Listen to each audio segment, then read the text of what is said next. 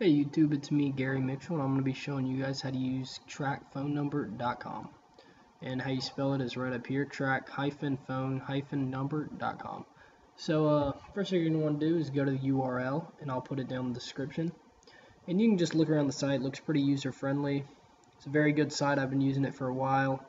There's a little setback though, well you can read the reviews but uh, there's a little setback. When you click on tracker and you want to start tracking it, it makes you verify you're a human before you can actually use the tracker.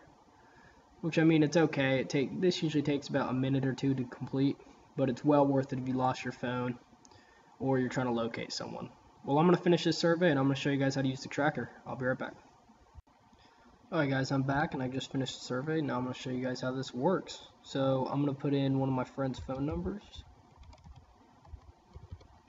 And let me explain the process a bit. So what you want to do is if you're tracking a phone number from the USA, you're just going to want to put in the plain number. But if you are from out of the country or searching, or actually if you are searching for a phone number that is not in the USA, you're going to want to put the country code. Let's say I was trying to search someone, let's just say I was searching someone from Mexico or something, you'd want to put the 68, which I think is the which I think is the country code in front of it. But uh, Y'all can check up on that if you're searching for someone out of the country, but right now I'm just using a USA number as an example. So as soon as you do this, you're going to want to click track phone number. Alright guys, so as you guys can see, it just loaded.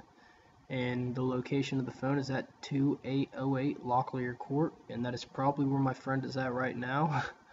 I'll probably verify with him after the video, but you know, I've used this tracker several times to find us lost and stolen phones.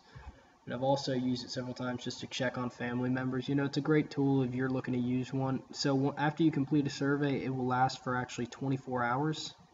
That means you can use the tracker unlimited times up to 24 hours. And you know, it's a great tool. You guys should come check it out at trackphonenumber.com, track-phone-number.com.